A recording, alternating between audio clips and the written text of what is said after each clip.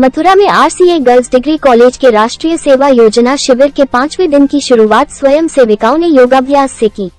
इसके उपरांत राष्ट्रीय सेवा योजना अधिकारी डॉक्टर पूजा राय और डॉक्टर सुषमा अग्रवाल के निर्देशन में स्वयं सेविकाओं ने पर्यावरण संरक्षण हेतु जन जागरूकता रैली निकाली।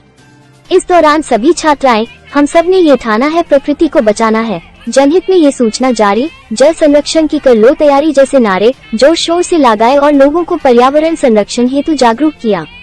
जिसके बाद तीसरे सत्र में छात्राओं ने वृक्षारोपण किया और महाविद्या क्षेत्र में स्वयं सेविकाओं द्वारा पौधे वितरित किए गए।